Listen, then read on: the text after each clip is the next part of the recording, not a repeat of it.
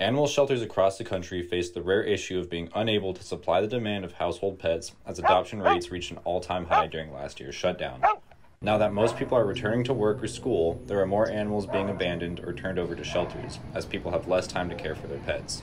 People started going back to work. They weren't working from home as much anymore.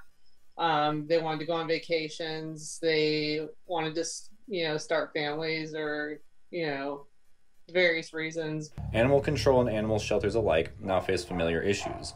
There are limited resources available to care for all the animals that are brought in. The lack of space is a big issue.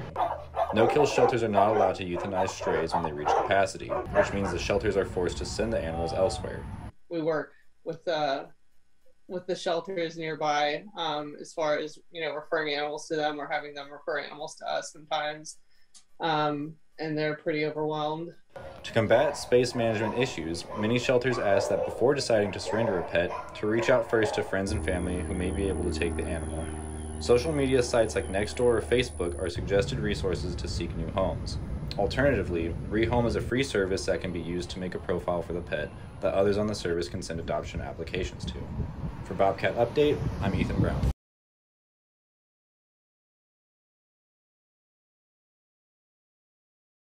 The population of Texas State has increased dramatically over the years, and as a result, parking has been increasingly difficult to find. Having limited spaces available sets up an exercise in futility.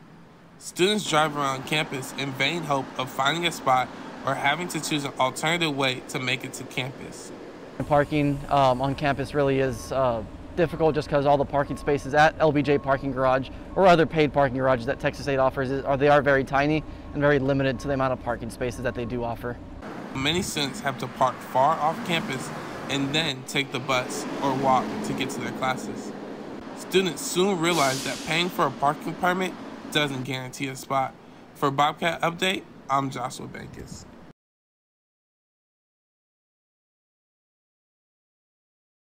Cold and flu season is back in full swing. Symptoms seem more severe this time around because most people made an effort during the past several months to curb the spread of coronavirus, and by doing so, they also protected themselves from other illnesses. We're testing every single person that comes in with symptoms of cough, congestion, chest pain, things like that. Most of these also can be easily confused with allergy symptoms, especially those who suffer more serious allergies. We absolutely have been testing many more people. During the upcoming holidays, many people will be reuniting with family to celebrate events. This could lead to another wave of COVID cases as people travel and let their guard down. The ties that bind us keep us together, close together, and unfortunately, parents and kids and everybody all touch everything. And so we might be seeing another big wave right after this season. Health officials suggest that masks continue to be worn regularly to help prevent not only COVID, but also the flu illnesses. For Bobcat Update, I'm Ethan Brown.